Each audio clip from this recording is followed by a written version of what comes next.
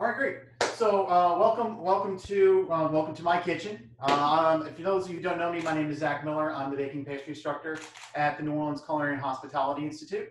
I've been teaching there well since we opened for about a year and a half now. Um, before that, I was teaching at the Culinary Institute of America in Hyde Park, New York, for three years. Before that, I was you know a pastry chef at a ton of different places, New York and New Orleans and Washington D.C. That those kind of places. Uh, kind of all over the place with that. Uh, just so you're aware, I do have a dog, and you may hear her in the background. She's my, my sous chef. So uh, if you do hear her, she's um, uh, I do have a dog. So we may uh, we may actually may chime along uh, here and there, or you see, may see her hear some jingling if she comes in here mooching for food. Um, but to get right off into it, we're going to start off with our biscuits. So um, a couple things I want to talk about with biscuits. These I'm going to go for more of a tender biscuit with this. I love a really, really good tender biscuit, but really to determine that happens, it, it's the size of the fat, the size of the butter that you cut it in. Really, that's uh, that's going to determine it. So I'm going to go for a more tender biscuit. And my flour, you can see I already have it in my bowl, but the flour I got was actually bleached, the one they had at uh, the grocery store. See if you can, I don't know if you can see that, but it does tend to clump up pretty easily. So with bleached flour, so I'm actually going to sift this flour so I've got another bowl here and my sifter. At this point, I'm going to add the remaining dry ingredients. So I've got my salt, my baking powder, and my sugar. All of my dry ingredients are going to go right in. And I'm just going to give it a little mix with your hands because, you know, it's fun. That's, you know, that's part of the fun of doing this. So I'm just going to give it a little bit of a sift before I go into it. If you're using uh, unbleached, which is my preference generally for uh, most of my flowers. You can forego this and it'll be just fine.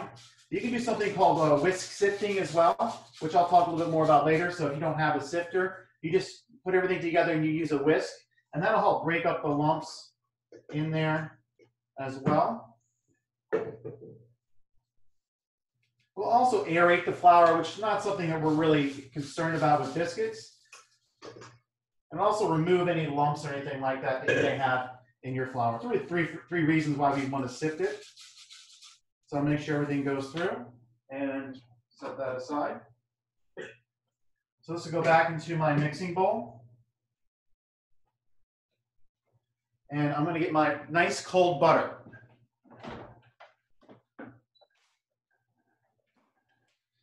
So I've got my butter from my fridge, and you see I've cut it into very small cubes. These are, I'd say, about half an inch at the largest. So the smaller they are to start off with, especially if you want a tender biscuit, the quicker this is going to go. But this is what's known uh, in pastry lingo, pastry biz, as cut-in method. So you usually see like old pastry blenders and stuff like that. We're going to do it in my stand mixer because, well, I have one, so why not, right? So if you don't have one, you can use a regular mixer. You can use a pastry blender as well. A couple forks if you'd like to as well. Uh, or you can even do it if you have a, a large cutting board like mine uh, with a, a, chef's knife. You can kind of cut it in that way, kind of chop it in, which is kind of fun, but a little bit noisy and a little bit messy. So um, my wife will get mad at me if I made that big of a mess in my kitchen uh, today for this. So uh, we're going to start off with our cube butter, our cold cube butter. That's going to go in. Chef Zak, I have a question, um, two questions, because I have one and someone else had another one. Uh, what about doing it with their hands? How do you feel about that? You can. Uh, I tend to have hot hands, um, so I, I generally try and steer clear, but you can actually get in there and kind of press it in together like that. And what you're doing, if you can see, I'm trying to make a little bit of a mess here. As I'm pressing in, I'm forming kind of a little bit of a flake in there. I don't know if you can see that really well. So you can see how thin it got. And that, if you're wanting a flaky biscuit, that's what's going to give you a flaky biscuit. Hmm. So um, I've actually developed a technique that we we teach at the school for biscuits that are kind of a hybrid between tender and flaky, because that's always kind of the the um, kind of the debate among biscuits, right? Biscuit lovers, you want tender, you want flaky. So I kind of developed a hybrid one where I, I do this technique where I'm mixing it in let me get that going on low speed to start off with so I don't make that big of a mess. Where I, I we're shortening the dough actually. So you guys have a whole other shortbread, right? Really what that is, is it's the fat that's kind of coating the flour particles and keep, and it interferes with the gluten formation. So you have a really nice uh, tender product. So you think of like shortbread, those shortbread cookies and things like that. And that's really what we're doing right now is we're shortening the gluten right there. We're coating all the fat particles.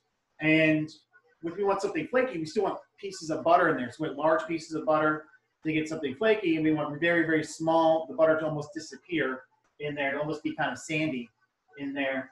Uh, and that's going to make a very tender product. So I actually kind of split the butter up. I usually take about a third of the butter, put it in the beginning, and mix it until I can't see it anymore. It's gone. It looks kind of sandy looking.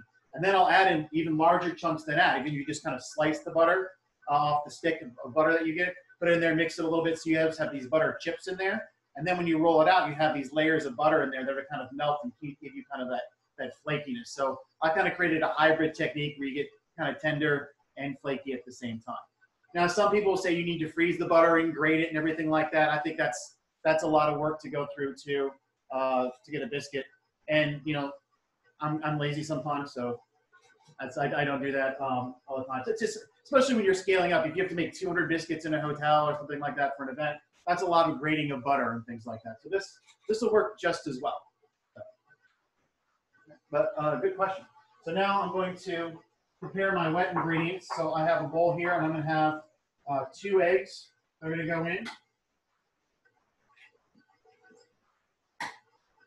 So I'm going to crack those.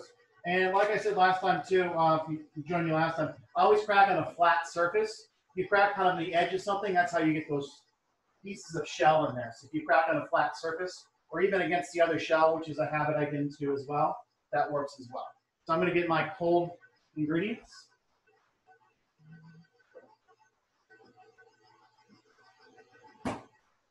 Make sure I grab the right ones. So this one uses, I use sour cream and milk in here.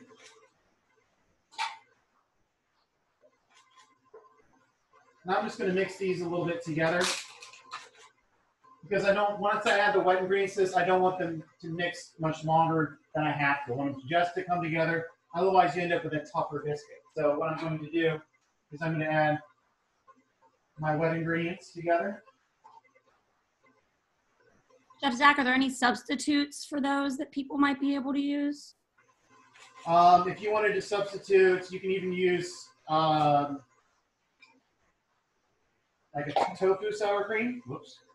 Would yogurt work? You could use, if you wanted to use buttermilk if you didn't have sour cream, that would work. Say again, I'm sorry. Would yogurt work? Plain yogurt? Yogurt would work if you had yogurt. That would that would be perfectly fine in there.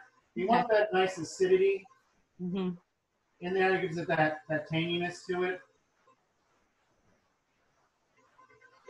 What if, uh, can you tell people about how to make their own buttermilk? Uh, if you don't have buttermilk, you can add, you can actually take uh, milk and add a little lemon juice to it. It kind of makes it that that sourness. Uh, you don't get the cultures or anything like that, but for something like this, it'll work um, work very similar. Thank you. So I'm going to just start mixing this a little bit, just to break up the eggs, make it a little bit easier to incorporate.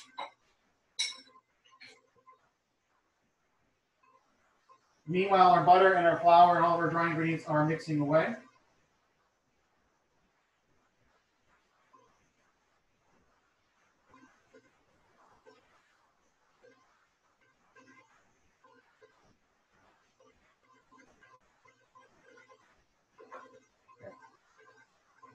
It doesn't need to be completely smooth, but just to kind of pre-mix the ingredients just a little bit to help them out.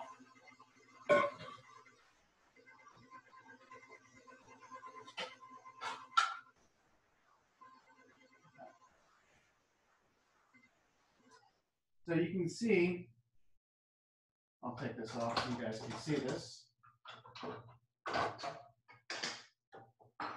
We're starting to get there. We're about halfway there.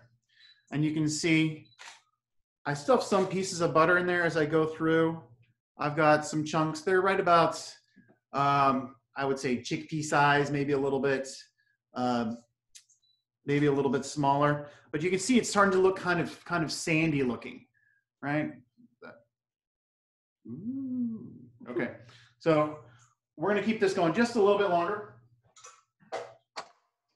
Chef Zak, someone asked about how much how much lemon juice to add to milk to turn it into buttermilk. What would the ratio? It's about one tablespoon per. Um, I would say for per cup, I would add probably a half a teaspoon to a teaspoon. Okay. Uh, that would that would give you pretty something pretty pretty comparable. You could also, uh, if you had vinegar, you can add a little vinegar to it as well, probably about the same amount. Just something to kind of sour it a little bit.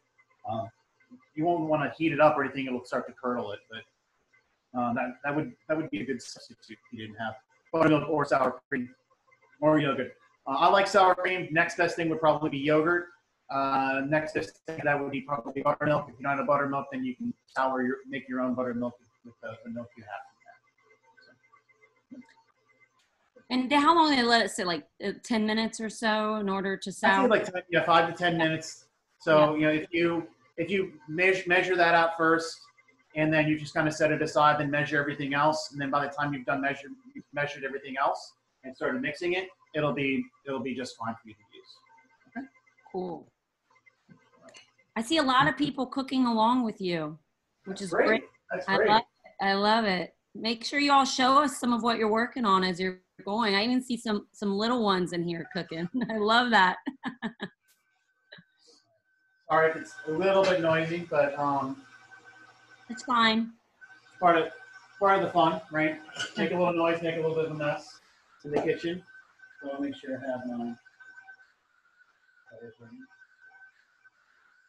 By the way, for those of you I haven't met, I'm I'm Leah. I do the other cooking and quarantine classes. That's why I'm chiming in here. So nice to meet you. I'm trying to find my volume. Sorry, yeah, you sound okay. I can't hear you as well. So Oh. I had to turn you guys up. Got it. I'm loud too, so that's a problem if you can't hear me.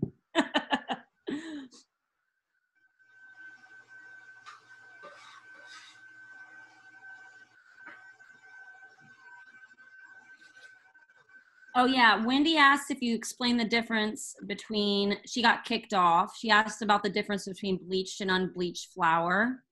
Um, Oh, yes. already discussed it. She said she review it, but I think it's probably not bad for some people that came in late.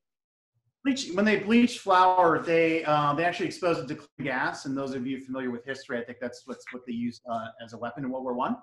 So it's um, uh, but what it does is it breaks down the, the proteins in there. They really only use it for uh, for cake flour. Uh, most cake flour, actually, King Arthur did come out with an unbleached cake flour. I've not tried it yet, but um, when I hear it's, it works pretty well. And so what it does is it, it breaks down the, the protein. When we're talking about protein, we're talking about gluten. And we're talking about gluten, we're talking about structure. So that's why in cake flour, they generally are going to bleach it because they want to break down the structure with something very nice and tender. So that's why you're going to use see cake flour pretty much always be uh, being bleached, whereas the other flours are not going to be not going to be bleached. Um, generally speaking, uh, it's going to break down. You're going to give your uh, give you a little bit more structure from that. So we want for using wheat flour, we want structure. We want the gluten in there. That's what's going to give us some structure to hold everything together.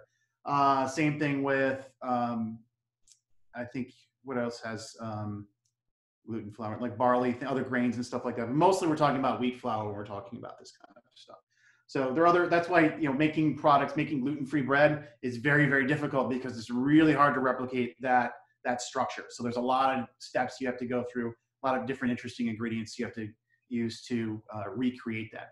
But biscuits, because we want something tender, tend to work pretty well for this kind of stuff.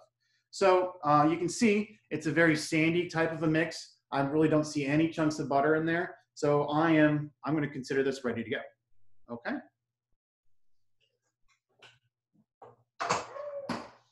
Back on my mixer. And I'm gonna add all of my wet ingredients at one time and make sure I'm gonna scrape those down.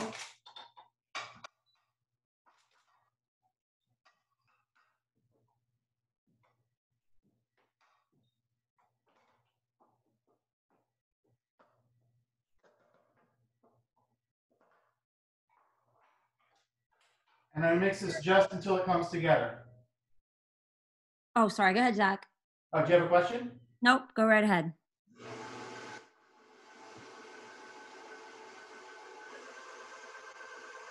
someone did have a question now. She says, "What happens if it gets clumpy and isn't sandy anymore? Did we mix it too long?" You didn't mix it too long. Uh, it, it should be okay as long as it's, it starts to clump together. Um, you should be able to add your liquid ingredients and still be okay with it. Uh, but you want to make sure if your kitchen's really hot or anything like that, you want to make sure that, that you work fairly quickly with it. And if you're doing it by hand too, you just want to be cautious of, of how, how much you're going to mix it like, like that. So you can overmix it. You can uh, mix it so it starts to come together almost as a dough. But you should be able to add your liquid ingredients and, and still save it and still end up with something pretty good. So, uh, and that's part of the fun. You, you can figure out. It's you know sometimes there are you know what is it? Uh, Bob Ross says are happy accidents. You know, there's uh, those little things that yeah, right. So it's you know it's it's cooking. You know, enjoy it, have fun, relax. Don't stress about it. It's it should be fun and, and, and relaxing and enjoyable. And when every time you make a mistake, you're going to learn something about what you did. So uh, you make more. If if someone that's like my students, if someone comes through and you never make a mistake, they're not going to learn as much as someone comes through and screws stuff up all the time. You know, they're going to like, oh, I've been, you know, this didn't come out. Why didn't this come out? Oh, because of this. There's a reason why. And once they kind of understand and learn how to do that and learn from their mistakes, then you know, that's part of learning. That's part of the joy of this is then you get to keep growing and learning from that. So anyway, I can talk about that for a while, but back to my biscuits. So good lesson. so I mixed it till it's come together. You can see there's just a little bit of dry in the bottom. I'm not sure if you can see that. I want to dump that on the floor. Just a little bit. And we're going to kind of work that together on uh, a bench, on cutting board, I should say. Uh, so you don't want to, you just want to not over mix it. You want to make sure it stays uh, nice and tender. So what we're going to do is we're going to lightly flour. Now, if I was at school, I'd be much more dramatic with that, but I don't want to have to sweep my floor, so I'm going to um, I'm going to be a little bit less dramatic with that. And it's okay at this point, get your hands in the dough a little bit. That's part of the fun, right? And if it's for Mother's Day, assuming you have kids, this would be a fun thing for the kids to participate in as well. Uh, depending, you know, some of you may uh, have a lot of, I may have a bit of a mess from that though. So, uh, but we used to, when I was a kid, we used to bake all the time, uh, or help in the kitchen. I don't know how to help, but my mom could probably uh, debate that. But I have pictures of me. Well, most likely I was banging on pots and pans instead of actually helping. But um, so all of our dough is going to come out onto our flour on a floured cutting board, and I'm going to use my spatula in here. There we go. And the spatula is rubber spatula is a great thing. And one of the I used to work with a chef, and he would say, you know, this is the difference between you know retiring with a Ferrari and, and retiring with a Ford at the end of your career, because you'll save yourself a lot of money uh, throughout the course of your career just by straightening everything out of yourself. So remember, we measured all these things too. So all these things need to go into our mixture. Okay. So now, just a little bit more flour. And we're just going to kind of bring it together on the board. I'm not really kneading it and just kind of pulling it together. And I'm flouring it as needed. You don't want to add too much flour to it. Just want to keep it from, and this is a bench scraper, by the way. This is a great tool to have. So I'll kind of almost kind of chop and stack it a little bit. It's a great way of kind of controlling your your dough on your bench. Okay? So now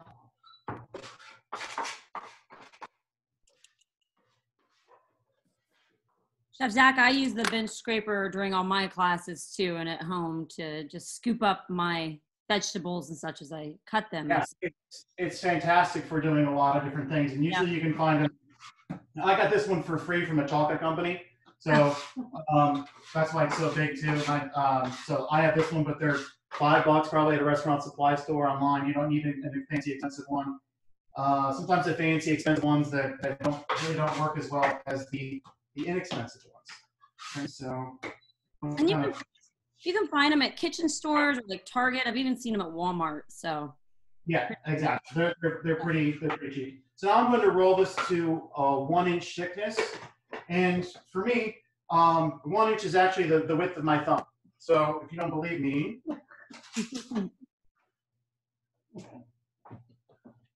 my thumb is one inch. So I was born, I was designed to make biscuits. That's how it works, right? So, so now I'm going to roll this slightly until I get the thickness of my thumb.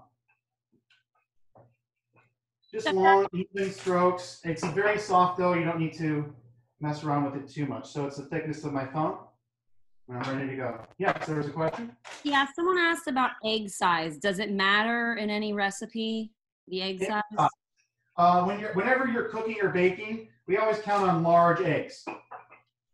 Um, large eggs, and pardon me for the, the reference in metric, but it's, a large egg on average is going to be 50 grams.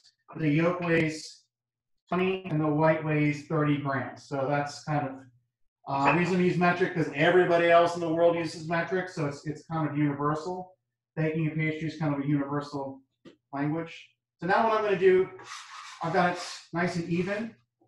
And when you're rolling dough, you want to go by feel. You can kind of look at it to see if it's even, but when you touch the dough, you should be able to feel the difference in, in thickness on it. So now, what I'm going to do, so I get some space cleared out, I'm going to bring my sheet pan over, and I've lined my sheet pan with parchment paper. You don't have to. I have parchment paper at home, so I use it, but you can use, you can just uh, spray it a little bit. And I'm gonna pick a biscuit size. So I'm gonna use my cutters. I'm gonna use, because I like biscuits, I'm gonna go a little bit bigger. So these are just uh, little plastic cutters that we use. Uh, these come in our, our students' toolkits. So, uh, and I get a toolkit too. I didn't steal it from a student, so I promise. Uh, but you can use you can use a drinking glass if you don't have one, uh, anything like that. Uh, you can have a biscuit cutter if you wanted to as well. But these come in a set.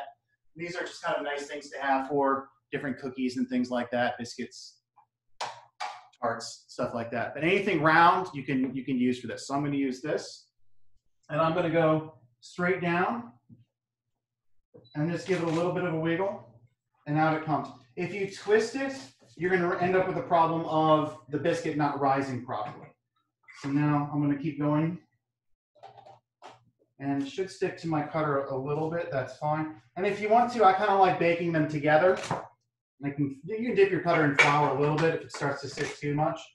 Because I, I like that look if you want to bake them separately, you can bake them separately.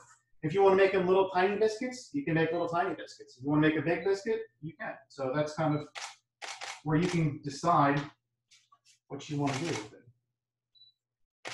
And if you wanted to put, you know, black pepper cheddar cheese in there or chives or something like that, you can do that as well. So, I like this, a little bit more flour. Chef Zak, someone asked, she said she's trying to keep up. Does she use sour cream and buttermilk or regular milk? I use reg- regular milk for this one. If you have buttermilk, if you want to use it, but you're getting the sourness from your uh, sour cream. So you don't necessarily have to use uh, buttermilk with it, but buttermilk would be a substitute for the sour cream if you don't have it. So now this one kind of stuck just a little bit, so I'm going to my bench scraper to get it off. And I'm going to bring this dough together, and I can get this one more gentle roll. You don't want to manipulate your dough too much. And when I'm, I'm doing the flour, I'm kind of throwing the flour a little bit so it spreads out a little bit more. If you sprinkle it, you get uh, little clumps on there.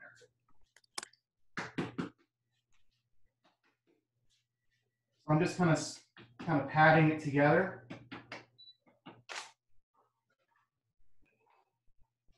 And then I'm going to use my pin. I'm going to measure it with my handy dandy measuring tool. So I'm feeling good about that. And then I like to lift up the dough just a little bit just to kind of let it relax. And then back into it.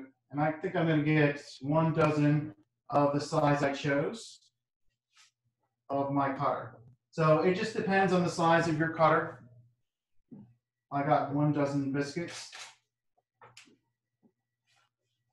Chef Zak, can this dough be made in advance? Yes. Uh, I like sometimes you can even actually freeze this dough uh, raw and then bake it if you uh, want to. I find because of the leavening in it, because once the leavening, the baking powder is in here, and baking powder nowadays is pretty much all double acting, which means it reacts to moisture and also reacts to heat. So you can let it sit and then bake it later on. So you can even put this in the refrigerator the day before, bake it that morning, or if you want to bake it right now, and these actually freeze really well, this recipe, after it's baked. So you bake, take it out, uh, you can put it in the oven, refresh it, and they, they're still really, really good the next day. So uh, at this point, I'm going to pop these into a 375 degree oven for, I'm gonna set my temperature for about, or my time, excuse me. I'm gonna check in about 15 minutes. And yes, I still set a timer too. I don't have, I have a really good internal timer, but I'll probably forget about them. But um, at some point. So on the leftover dough, I usually, because you keep working it, it's gonna get tougher and tougher. It's usually a bit of a sacrifice at that point. So you can kind of let that, let that dough uh, go. Uh, another thing you can do with this, if you want to do like a pot pie, you can use this, this dough for that. It's fantastic for something like that. Bench scrapers are great, aren't they? So I'm going to move this out of the way.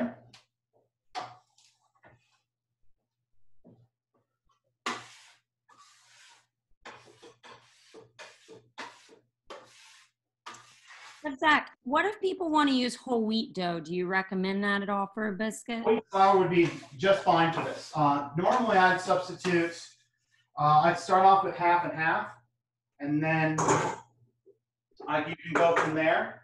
Uh, if you want to do all whole wheat flour, that should work out just fine as well. Would the texture be a little different? Texture would be different, flavor would be different. Um, you know, the only thing I would be really concerned about is using rye flour, just because the protein on rye is very, very different. And you'll end up with something that's kind of sticky, as opposed to something that's kind of uh, tender. So it tends to be, uh, rye flour tends to be a little bit more troublesome. But um, I usually start off with a, a combination.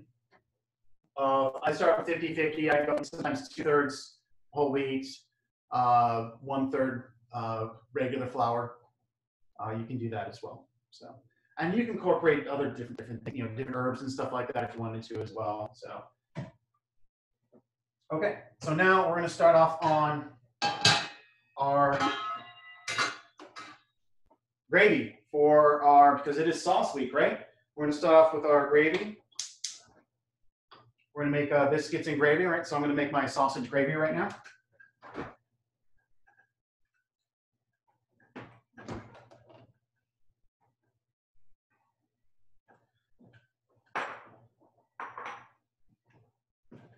So let me gather my mise en place, right? Fancy word for, uh, you know, basically everything I need scaled up and ready to go in advance. So I have my milk, my flour, my breakfast sausage. I have half a pound of breakfast sausage. I have two cups of milk. I've got two tablespoons of flour. I guess I have more than two tablespoons of flour, but I'm going to measure that as we go. And I'm going to do this in a larger pot. I also have salt and pepper handy uh, by my stove, like I always do. So I have my fancy, got a little oyster shell uh, for my salt. It's actually ceramic. It's not an actual oyster shell. So, and my pepper mill that I've had for a good probably 20 years. So I've had this pepper mill for a long time. Freshly ground pepper, and this is always the best. So it's very simple ingredients for sausage gravy. Uh, you can use turkey sausage if you wanted to too. If you wanted to kind of avoid the pork sausage. If you wanted to use basically the same ratio, just leave the pork out. Maybe just use a little bit of butter or even just like a neutral oil to make the roux. And you can do uh, just a basic uh, just a basic gravy that doesn't have sausage in it. So I'm going to choose my weapon here. I like this one. So I'm going to add my breakfast sausage, and I'm just going to break that up and let it start cooking and rendering out some of the fat in there and getting nice and brown. Is that just 15 minutes for the biscuits that you put them in? I put them in 15 minutes, and I'm going to check them. So Uh, my favorite, my favorite question my students ask me is, how long does something bake? And my response to that question is, till it's done. Right? How long does something cook? Well, it cooks until it's done. My oven here is going to be different from your oven. It's going to be different from the ovens I have at, at work, at the school. Uh, so they're all going to be different. Uh, my biscuits, you may have a smaller cutter than what I used, and or you know, or larger cutter. They may take longer, or they may But 15 minutes for me is going to be a good start, and I'm going to to check it. But in case you're wondering, the cutter I used is is three inches. No, I have my handy ruler there, so or three thumbs wide.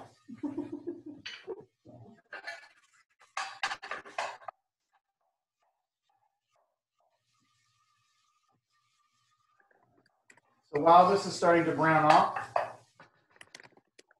I'm going to heat up my griddle.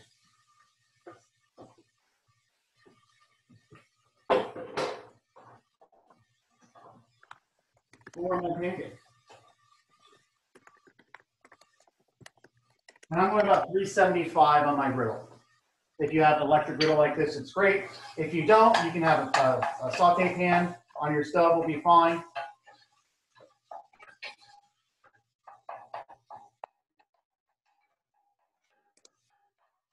Like it's great for French toast, great for breakfast stuff. You can do all kinds of kinds of different things in there as well. So we're getting this nice and brown. I'm gonna break it up. You want to have nice gravy. But we have to poke it, make a lot of noise.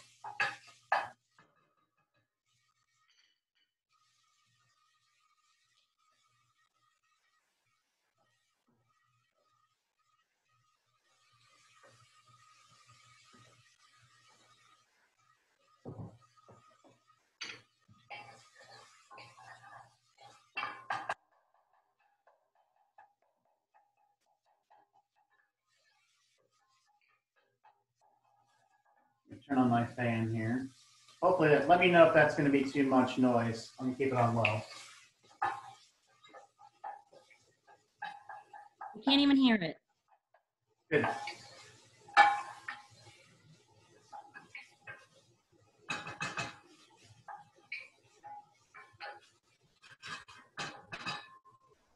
It's a good thing. So now I'm gonna get my black pepper ready. I've got a little reservoir. So it's kind of fun. It's like a little coffee milk. And I like I like black pepper. My wife likes a lot of black pepper, so I'm gonna I'm gonna load it up with that. I'm gonna have that ready to go.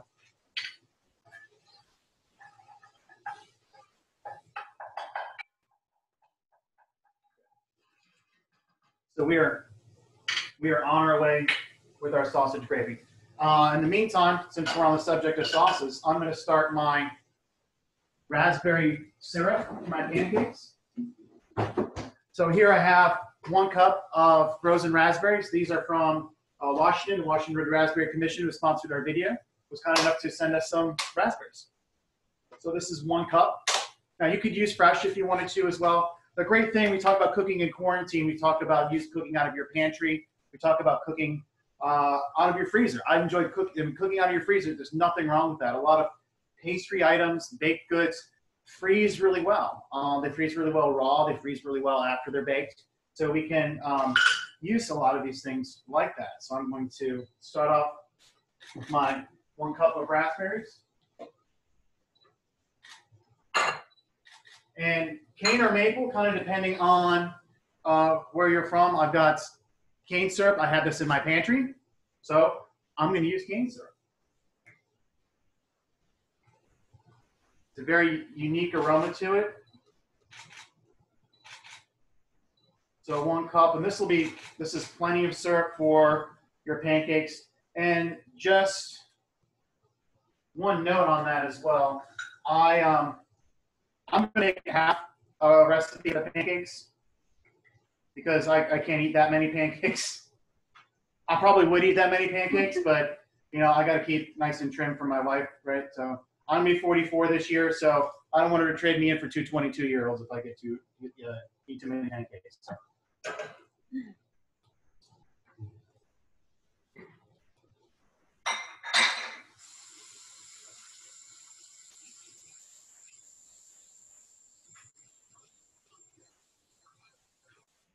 And Chef Zak, is this sauce something people could make extra and freeze? Absolutely, yeah. Um, because it's a syrup, they can they can keep in the refrigerator, I would imagine, uh, and we keep really really nice. But I mean, you've got you know you know syrups are generally. I mean, if you use real maple syrup, you have to refrigerate, it, otherwise it will get moldy. Mhm. So I'm going to turn that on and get that started as well. And and what's going to happen is the the, the raspberries are going to release their juices and kind of cook down, so you end up with kind of a half gam kind of syrup concoction in there. So I'm going to take a look at my sausage here. It's starting to brown nicely.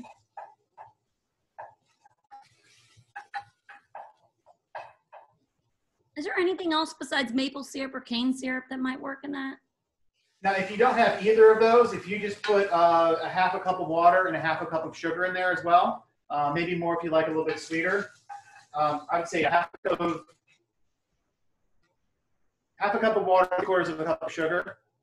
So raspberries are going to release a lot of juice, and then cook that down, and you just have just straight up raspberry syrup that if you wanted to. So you can use that generally. I mean, sugar is just fine for that. Um, if you had agave, you could probably use agave if you wanted to as well. You have that around. Did you say honey also? I could use honey. Honey's very strong. I would use like half honey, half sugar, and then a little water in that as well. Um, you could use honey, depending on your honey too. If you get like a stronger, darker honey, like a buckwheat honey, that tends to be very dark, very strong. Uh, if you have um, a lighter honey, I prefer honey. You're probably fine just straight up with that as well. So it depends what you have, depends what you like as well. So you can see I'm getting some nice color in, on my sausage in there. Mm-hmm. and it's rendering out some of the, the fat from the pork. Not a lot. So don't be scared. It's a really clean sausage. Now, if you wanted to drain off some of it, you could if you're afraid of all the pork fat. Um, you know, there's a lot of flavor in there. There's not a tremendous amount. But if you want to substitute, you need some fat in there to kind of form a, a roux. So a roux is basically just a mixture of, of fat and flour. And it's really big in uh, Louisiana cooking and you know, Cajun and Creole cooking, they use it almost as a season, a flavoring as well. If you're toasting the flour and they get those really dark roux, that's why you see the gumbo has a really deep, rich uh, color to it, uh, and that unique aroma to it as well. Uh, because you make a really nice dark roux. You're cooking the flour, actually toasting the flour and the fat until it gets really dark. We're not going to do that here, though. We're going to make a blonde roux, which basically means uh, it's really light. So we're going to mix it in with the flour. And and it's a really great way of thickening anything, uh, any like savory sauces or stuff like that. Or actually, you can souffle bases based on it as well. And I don't know if you've ever tried to make a gravy, throw a handful of flour into boiling broth, and end up with this uh, lumpy, lumpy mass. So this is a way of kind of distributing the starch, in this case flour, uh, into the liquid, so you do not end up with lumps. So I'm, I'm ready now to turn down my heat. I'm going to add my two tablespoons of flour.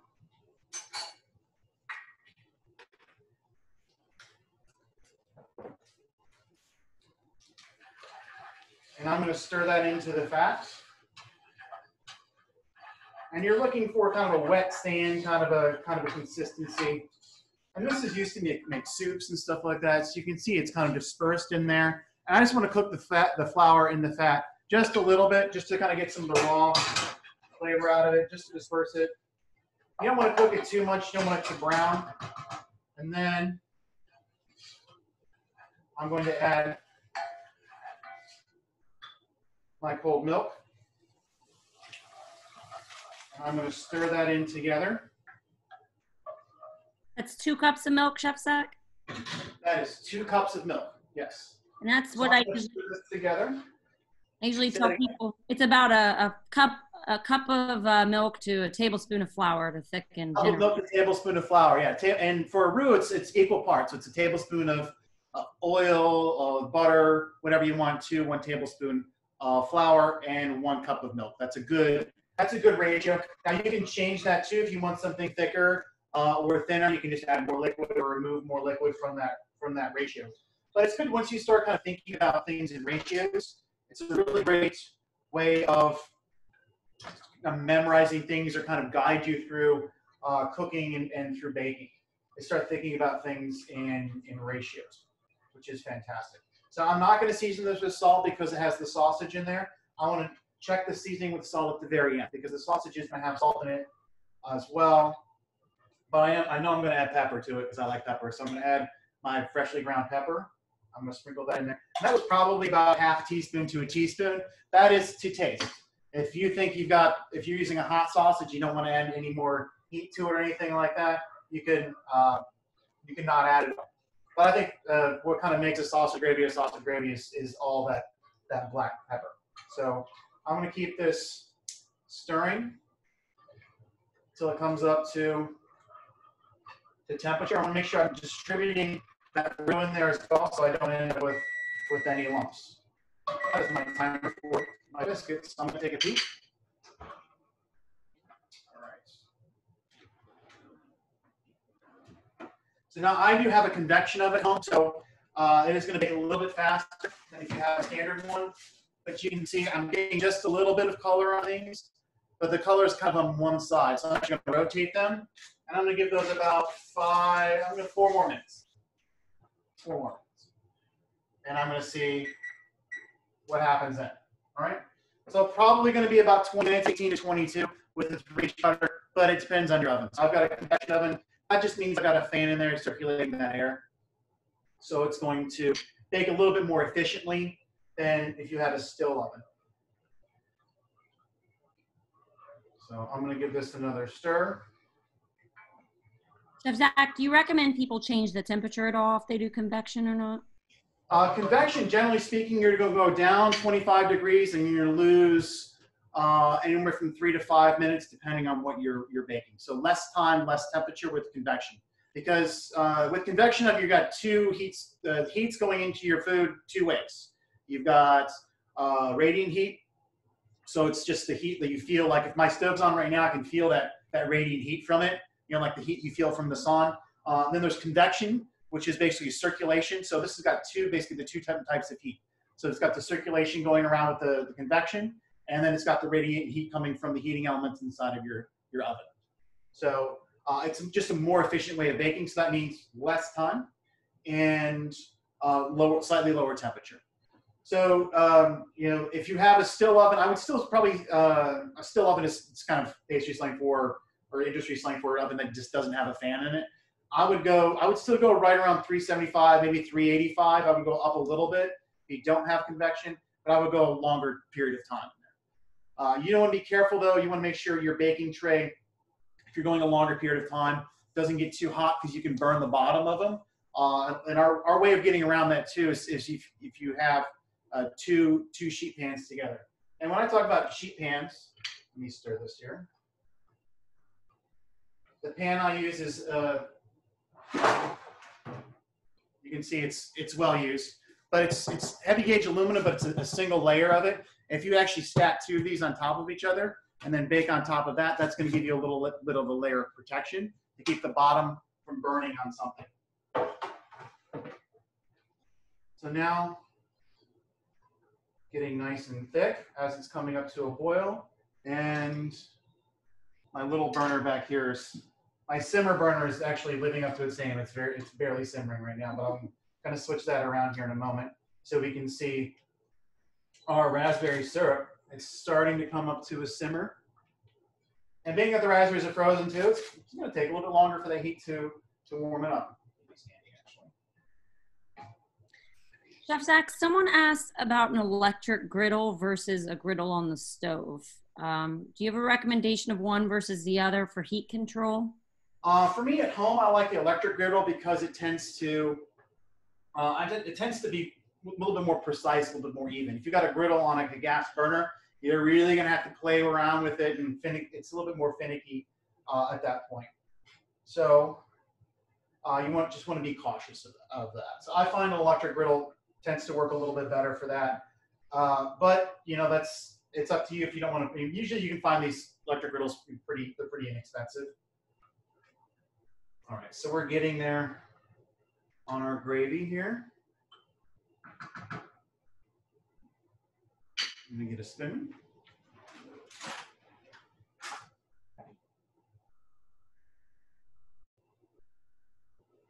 Okay.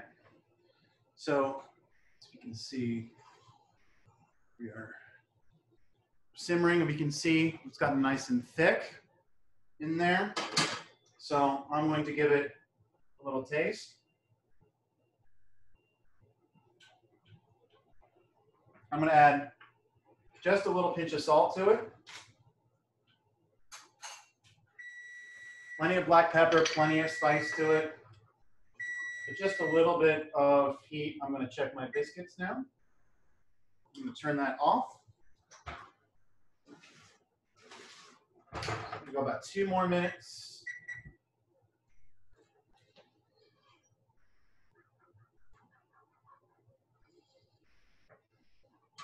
So you can see my, my gravy's gotten nice and thick there. If you wanted something a little bit thicker, it's remember as, as it cools down a little bit too, remember this is boiling hot. As it cools down, it is going to thicken a little bit more. So we want to be, be very cautious of that. We don't want uh, wallpaper paste uh, on our biscuits. We want to be cautious, but I'm going to put a lid on it right now to keep it warm and keep it from getting a skin on it as well. So uh, actually, I'm going to double check the seasoning before I go too far. Make sure I added enough salt. Very good. Okay.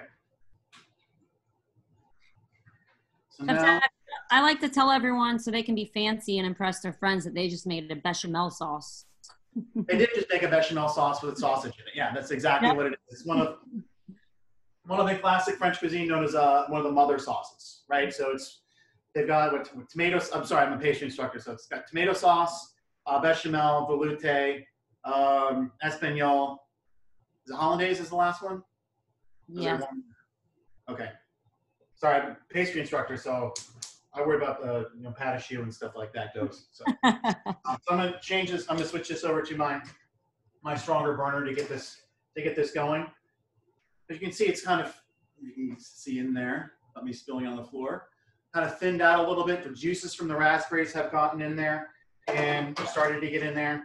So we're gonna bring that up to. We're gonna boil it and we're gonna evaporate some of the water that, that's come out of the raspberries and leave all the flavor behind. So we're gonna concentrate the flavor and get it nice and thick. We don't want it too runny because this is going to soak into our pancakes. We're going to have mushy pancakes. Nobody likes mushy pancakes.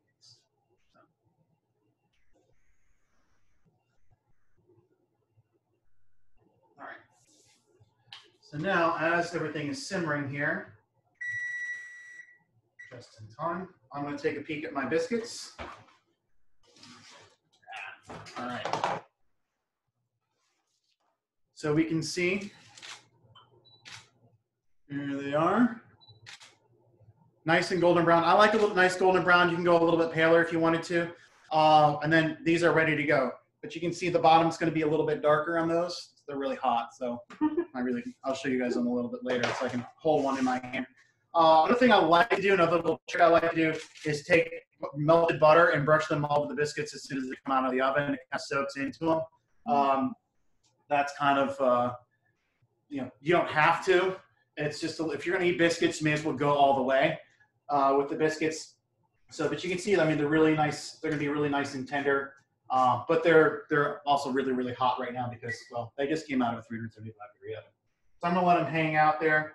I'm going to let my raspberry syrup do its thing. and start to smell really really good. The raspberries. Of course, I'm standing right above it too, so that helps.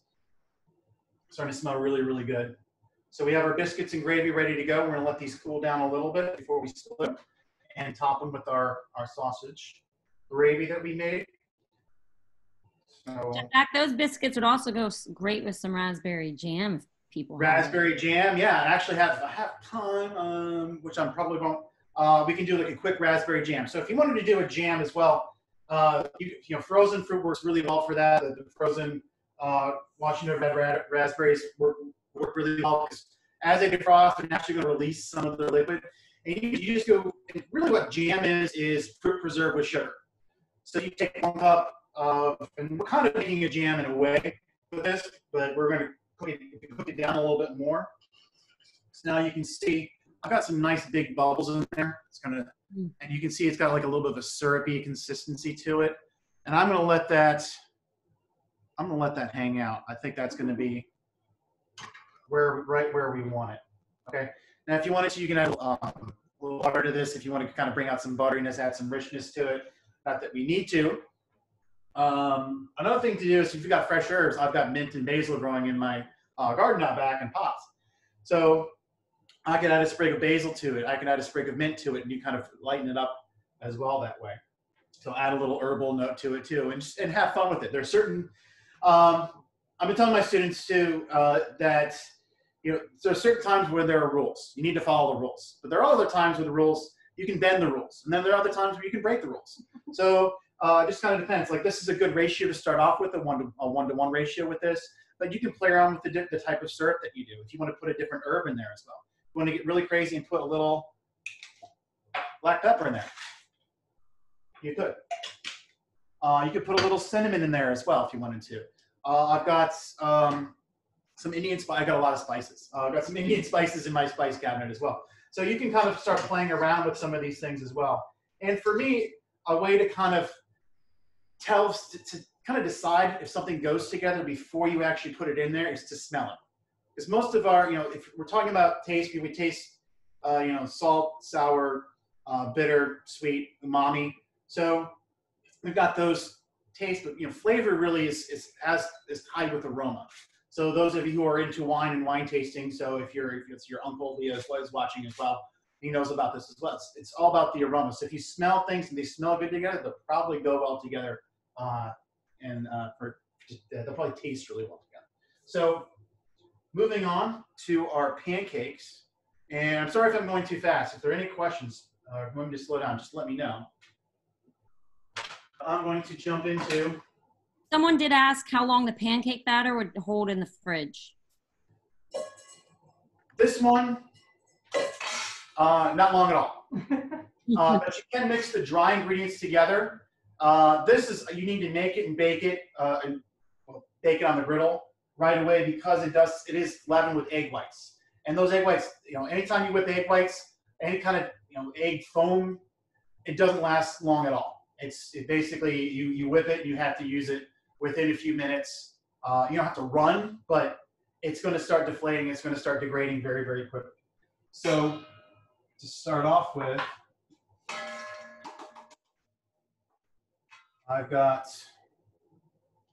I'm gonna get all my ingredients around here.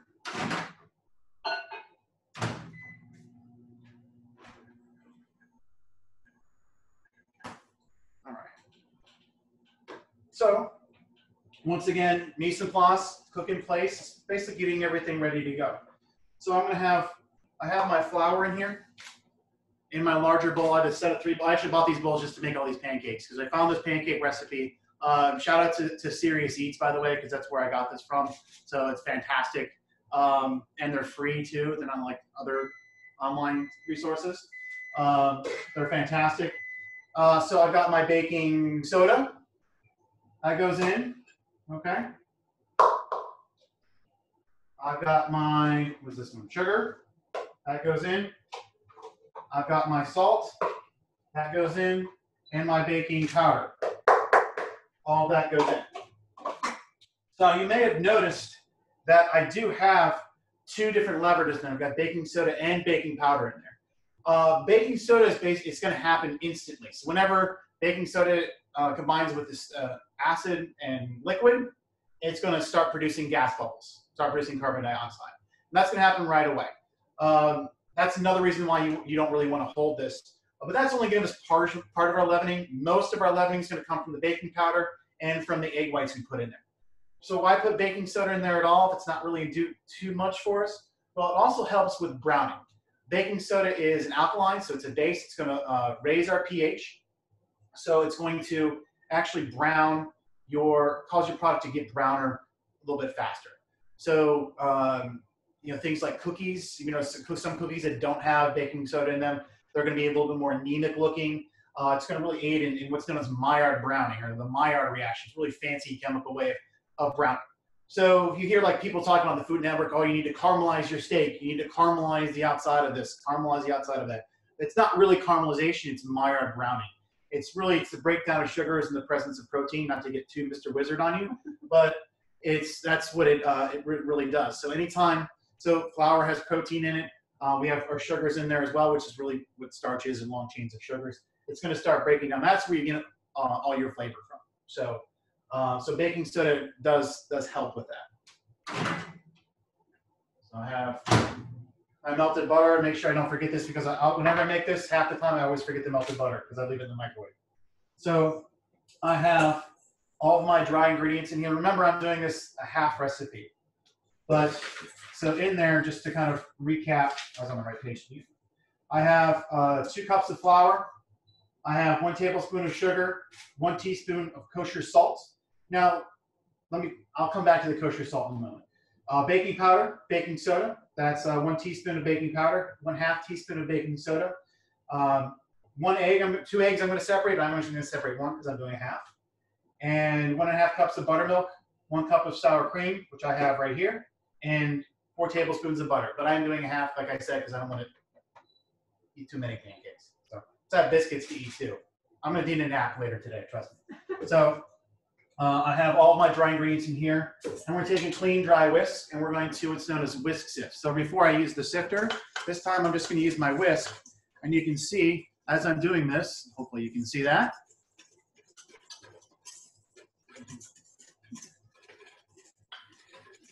I'm going to keep whisking, and all those lumps have disappeared. And I've combined all the ingredients together. So all the salt, the sugar, the baking powder, baking soda, all of it's evenly distributed in my bowl with the flour, and I've broken up any lumps. I've also aerated it a little bit too.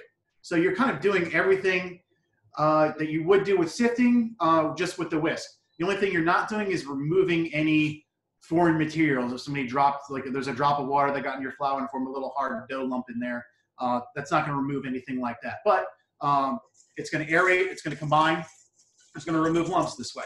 So uh, just a great quick way of doing that, especially if you don't have a sifter, don't feel like washing a sifter, that kind of stuff. Nothing wrong with that. So now I still have my whisk, which has just been in the dry, so it's clean. I'm going to take my sour cream and my buttermilk. They're going to go into my third bowl. And I need my spatula.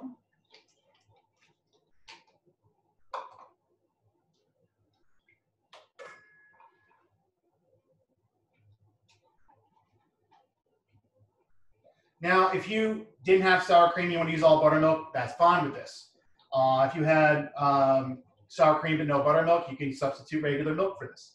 Uh, perfectly fine. It's great to have something a little bit thicker if you use yogurt instead of sour cream, those kind of things. That's perfectly fine for this. So now I'm going to take my bowl and have my one egg. So I'm going to once again crack it on a flat surface. And I'm going to open it up and I'm going to separate my egg. So I'm going to have two sides, two halves of my shells. I'm going to transfer it from one side to the next. So I have my egg whites in one bowl. My egg yolk is going to go into my liquid ingredients. Okay, so I have my egg white separated. And it's very important to make sure you have a clean bowl, clean whisk for this because if there's any oils or fats or anything like that in there, uh, it's going to inhibit your egg whites from, whisk, from whipping up.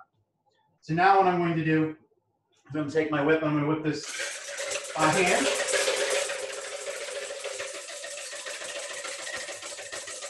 Done this before.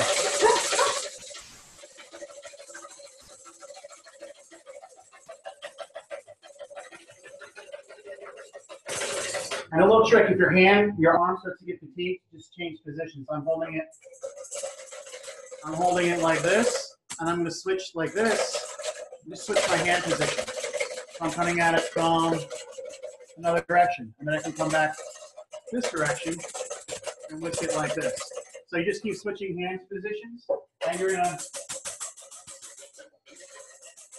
able to aerate very easily.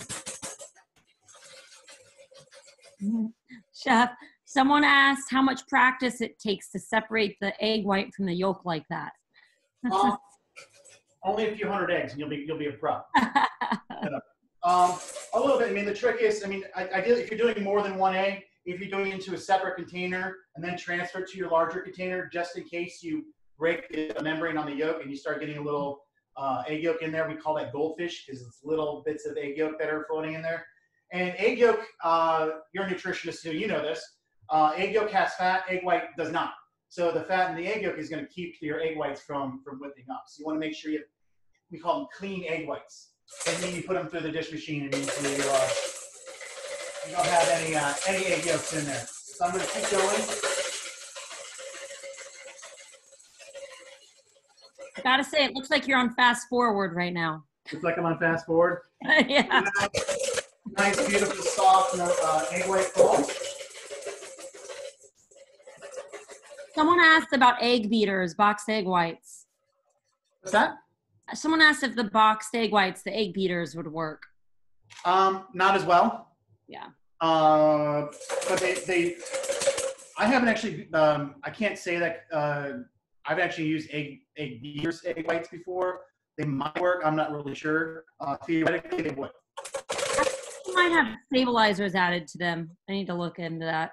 I think they do. Fresh egg whites tend, I found they always tend to whip a little bit better than any kind of package. So you can see we turned from kind of that opaque, clear uh, egg white to a nice white, almost, uh, almost shaving cream like. Where's my camera? There we go. Almost shaving cream like consistency. We don't want to over, we don't want to over whip it, especially because there's no sugar in this to kind of help stabilize. So I'm going to leave that alone.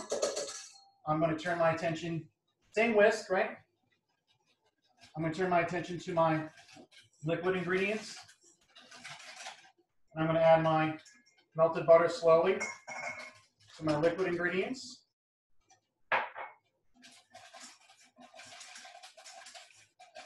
So we're going to evenly distribute that. And then, this is where we have to kind of be somewhat quick with it. We're going to take our liquid ingredient, we're going to go into our dry. And I'm going to switch to my spatula for this. And I'm just going to start stirring these together.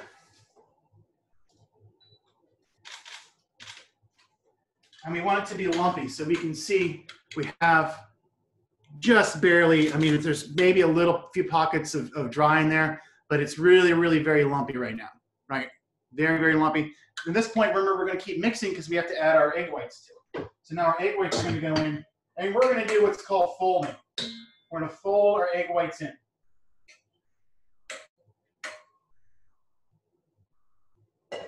And folding is what we do is we have a little rhyme, not really, it doesn't really rhyme, but a little limerick, I guess, if you will.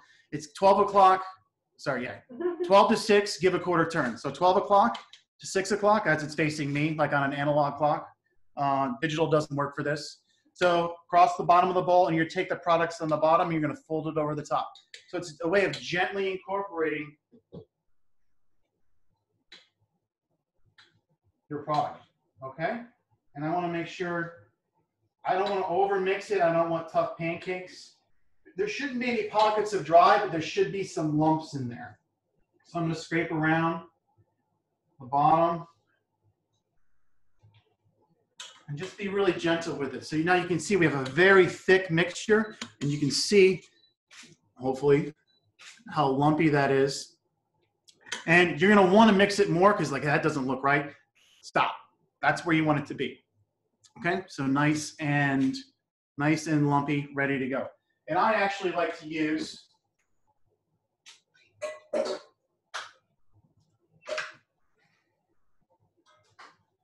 ice cream scoop for this. Because it's so thick, it's giving you a nice round, but you can use a ladle, obviously, because I have, you know, a triggered ice cream scoop uh, at home. So what we're gonna do is we're gonna lightly grease. So I'll just take some of the butter out of my, my container that I melted it in. And I'm just gonna rub my griddle just a little bit with that. Not, you don't need much, so just a little bit that's left over. It's a little trick. You don't need to melt butter separately for it. And then I'm gonna take my, I'm to move this over a little bit for you guys now. I'm going to just take this, it's a nice scoop, place it, and I can fit about six of these in my griddle. So you want to be fairly gentle. You don't want to deflate all those bubbles you made in your egg whites. These- These end up with really nice, light, fluffy pancakes.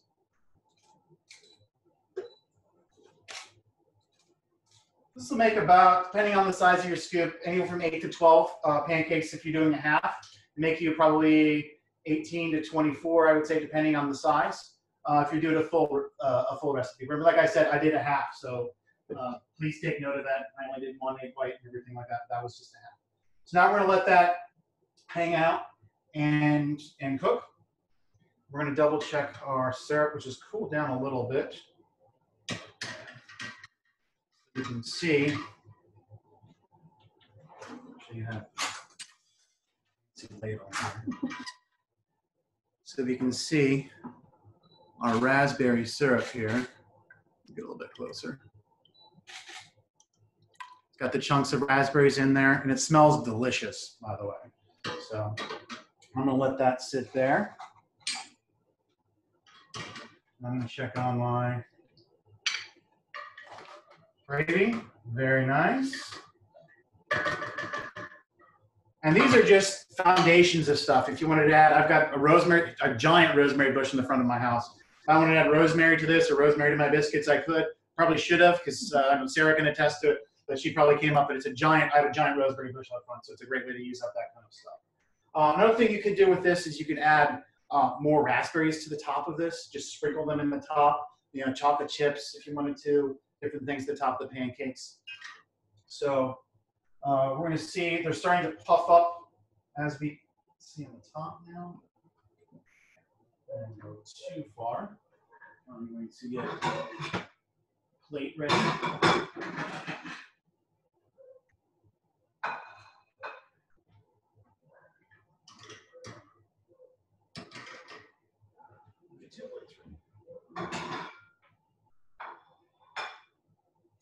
Now I'm going to grab biscuit now so you can see we have our biscuit here.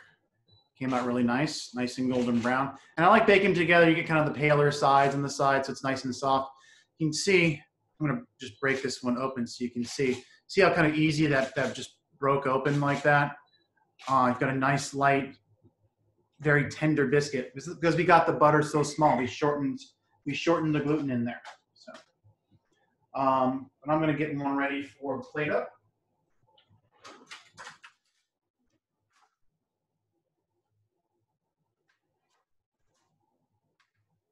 Yeah, that one's that one's pretty. That one's gram worthy. We'll use that one. So we're gonna split this, have it ready for our gravy. I'm just gonna flip our pancakes here. Give it a little bit longer, a little bit more color.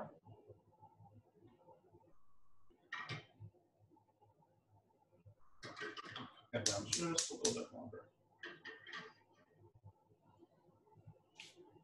You can add powdered sugar. I have a powdered sugar shaker. My wife likes powdered sugar on her pancakes, so we're gonna have a powdered sugar shaker just for that. I'll have that ready to go. So now we're gonna flip our pancakes.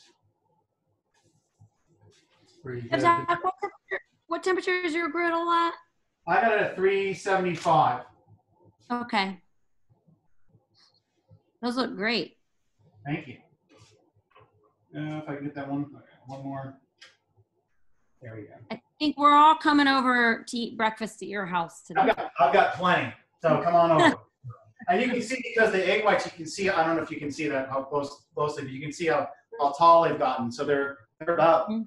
that tall. So the egg whites, all those bu- air bubbles that are created in there from the egg whites and from the baking powder, uh, there's all the bubbles are starting to expand. And as they're expanding when they're baking, the heat's going to set all the proteins and starches and stuff like that, and you're going to end up with a really nice, light, fluffy, tender pancake. So um, Mm.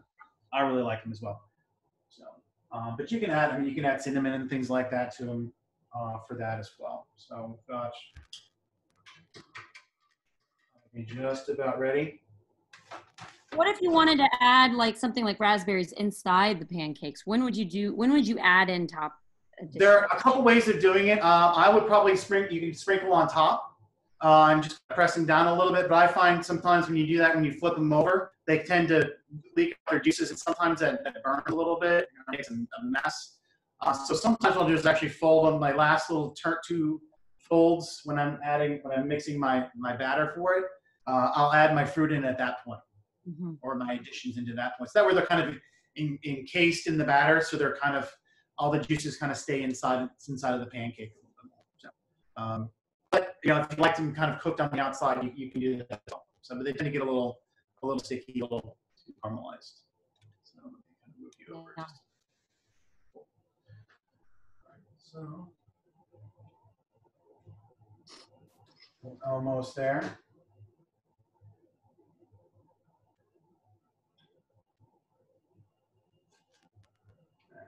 There you go. How's that for a pancake? Wow. See Oh, it rose up nice. Yeah, almost like the like the Japanese pancakes. Uh, got a little bit a little bit more time. I'm gonna give it another 30 seconds or so. You guys see the Japanese pancakes like that tall, almost like yeah, they're, they're kind of crazy. So we're not gonna do those from others. That's a little bit ambitious, I think. So I think this one is perfectly perfectly fine. Kind of a fun one to do.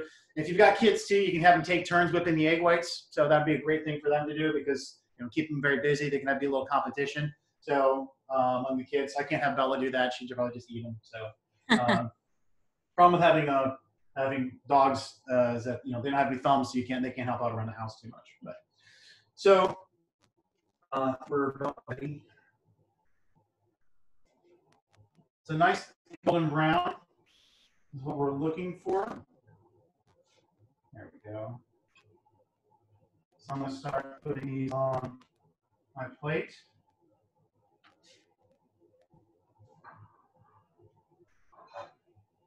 And then we, you can see we have our nice plate of pancakes, you know, nice in a row, nice in a row like that. Uh, I like putting a little butter on them right now, or we can get a little bit of our raspberry syrup right someone, someone asked, is there a good way to know when the second side of the pancake is done? Um, yeah, if you if you give it a little poke and it springs back, that's that's how you know when it's done. If it if it kind of squishes in a little bit, uh, I'd give it a little bit more time. We'll give a little powder on that too, just for fun, Yeah. because we can. Voila! There we go. Raspberry pancakes, right? So there's that.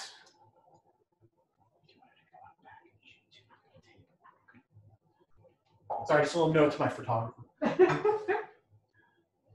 my producer. So now we have our biscuit that we've cut in half as well. So we're going to get our sausage gravy. Actually, after I get the rest of these pancakes out so they don't burn.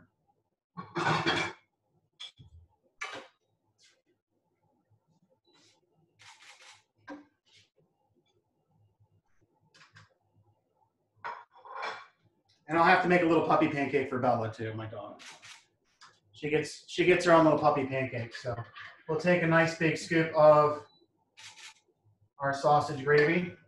We'll put a little slide, no powdered sugar on top of that, but that's not fancy. That's some good stick to your ribs kind of southern stuff. So I love biscuits and gravy. This is going to come out really nice.